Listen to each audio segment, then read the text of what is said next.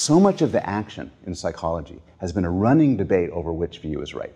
And this concerns morality, both moral judgments of right and wrong, but also moral feelings, including compassion. Many people would argue that, that in that regard, the baby starts off with nothing. The idea is children start off immoral, monsters, or if not monsters, at least they know not for good and evil. This is not the view which I think is supported by the data. I think there's now more and more data in support of a different view of compassion.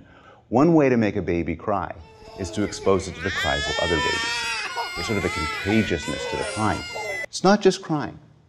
We also know that if a baby sees another human in silent pain, it will distress the baby.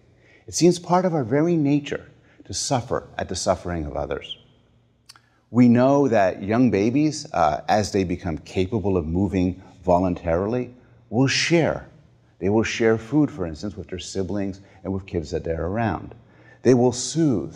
If they see somebody else in pain, even the youngest of, of, of toddlers will try to reach out and pat the person, maybe hand over a toy. There's some lovely studies finding that uh, slightly older children are able to help others. When they see somebody who's, who's unable to fulfill a goal, they'll seek out to come to their aid. So, one elegant demonstration of this comes from a recent set of experiments where they take a toddler, put him or her in a situation where an adult is in some sort of mild distress, and see if the toddler will voluntarily help, even without any prompting. And they find that toddlers typically do. There seems to be some sort of impulse in us that's altruistic, that's kind, that's compassionate.